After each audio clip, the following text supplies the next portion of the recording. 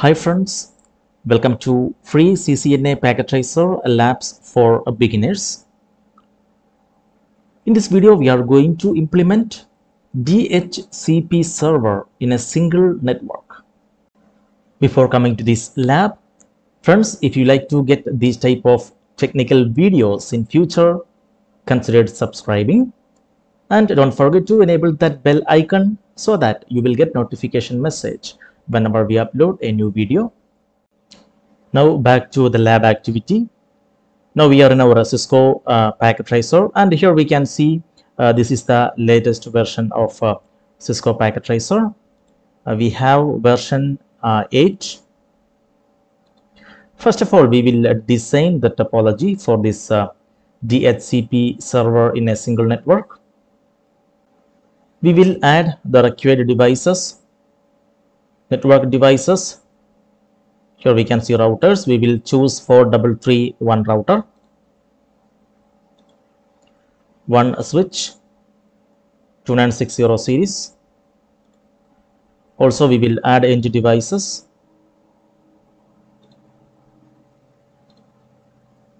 Two PCs PC0 and PC1 also we will add a server let me rename these devices physically. This is r1 this is s1 and here we have pc0 pc1 that's perfect. And this is a dhcp server. Dhcp server. We will connect all these devices. Coming to connection so we will choose copper straight through from r1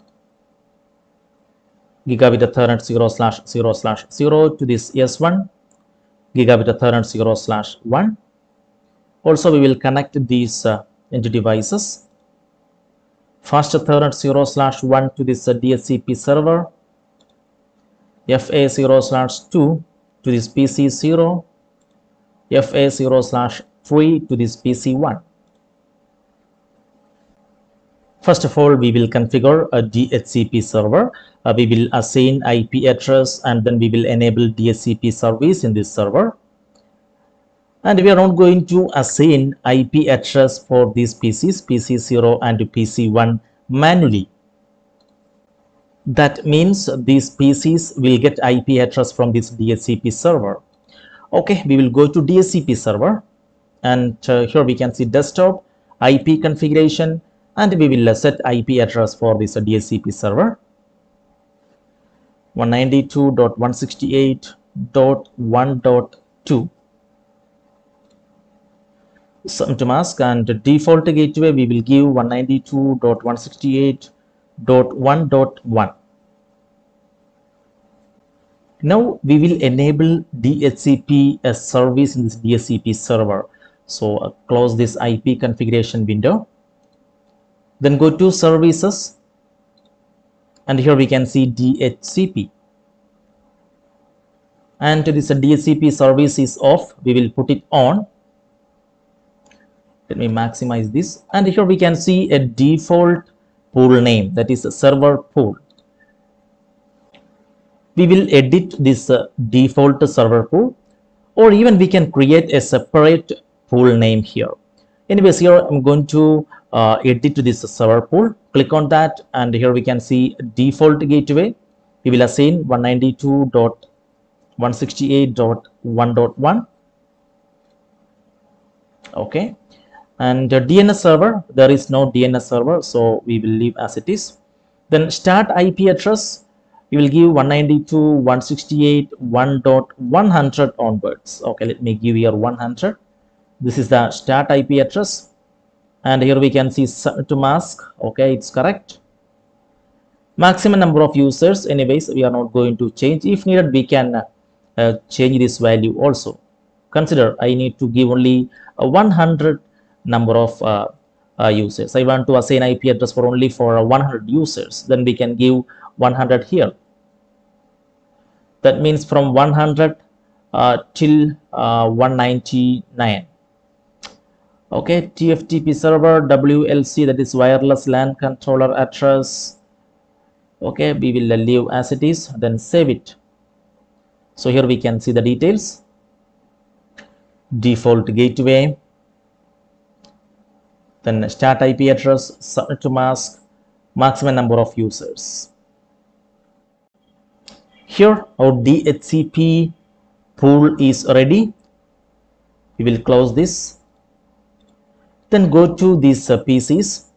Let me go to PC 0, desktop, IP configuration and we will click on DHCP, get the IP address automatically from the DHCP server.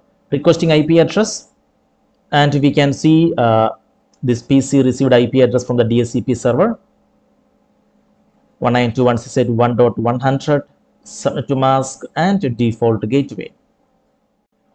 Perfect. Next we will go to this PC1 desktop IP configuration and click DHCP so it's requesting IP address and it's successful. We can see the next address assigned to this uh, PC1 192.168.1.101 and also we can see other information. Now just we will uh, assign IP address to this uh, interface G0 slash 0 slash 0 in this router R1 uh, because uh, this is the default gateway for all these devices. Also we will activate this interface. Go to CLI no. Enable conf t just I will set the host name as R1 okay host name next we'll go to interface g0 slash 0 slash 0 and set the IP address 192.168.1.1 with the subnet mask. Then activate this interface. Now shut down. And copy run space start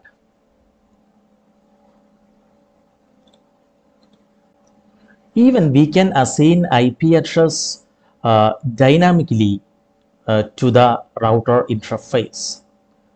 Okay, let me add one more router here for double three one series. Okay, we'll add here and we'll connect to this uh, switch S1. Let me rename R2 and we will connect using copper straight through gigabit ethernet 0 slash 0 slash 0 to this uh, switch gigabit ethernet 0 slash 2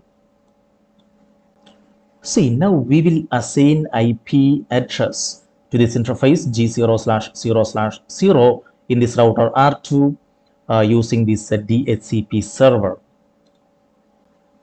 Okay, we will see how to do that. Coming to this router R2, enable. Conf t and here let me set the host name as R2 then we will go to interface g0 slash 0 slash 0 let me activate it. Now shut down perfect. Now we will set the ip address. We are not going to assign ip address manually so let me put a question mark here and we can see dhcp option ip address negotiated via dhcp so here we, we are going to give DHCP then presenter. Here we will wait sometimes or even we can uh, give a fast forward option here. Click on this fast forward and here we can see we get this message after some times. Interface gigabit ethernet 0 slash 0 slash 0 assigned DHCP address 192.168.1.102 with mask 255.255.255.0. That means uh, this router interface received IP address from this uh, DHCP server. So we can verify using show command give end show IP interface brief. And here we can see the details. interface gigabit ethernet 0 slash 0 slash 0 and we can see the ip address assigned to this uh, interface 192.168.1.102 and we can see the method here we used dhcp